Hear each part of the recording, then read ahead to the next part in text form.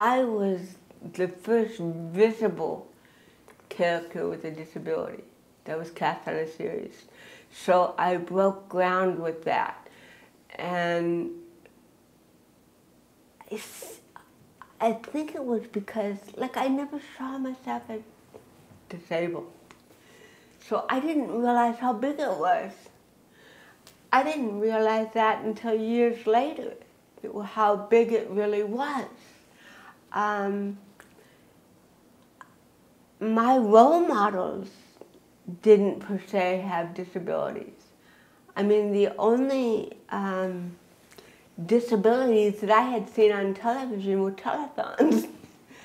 and even if they did shows about somebody with a disability, it was always so dramatic. It was never comical.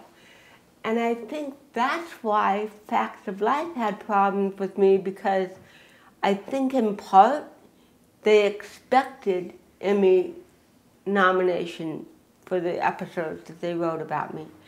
But I think the reason they didn't get it was because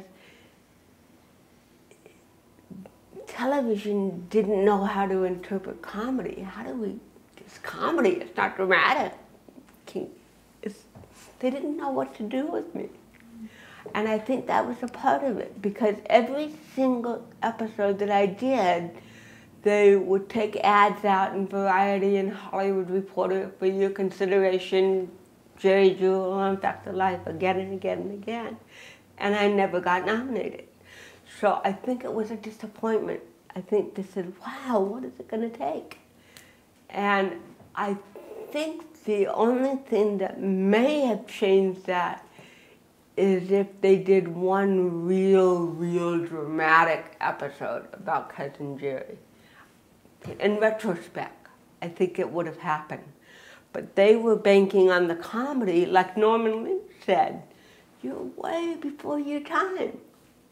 Hollywood wasn't ready for something like me.